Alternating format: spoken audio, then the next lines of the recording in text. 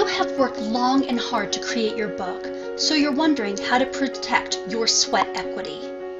As the creator of an original work, such as a book, blog, photograph, illustration, or song, copyright is your exclusive legal right to use and distribute the work and to receive compensation, while excluding others from using your work without permission. Copyright protects the expression of an idea, not the idea or subject matter itself.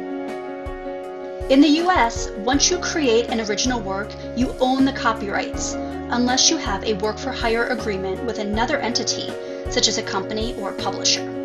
However, in order to enforce your copyrights from unauthorized use, you must register copyrights with the federal government. It is good practice to give notice with the copyright symbol, a letter C inside of a circle, or the word copyright followed by the year of the first publication and the name of the copyright holder.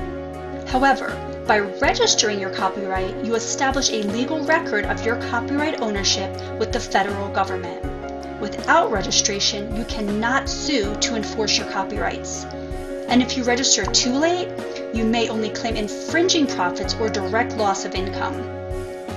You must register within three months of publication and prior to any copyright infringement to be awarded up to $150,000 in statutory damages, plus attorney's fees. So, registration means potentially thousands of extra dollars in your pocket.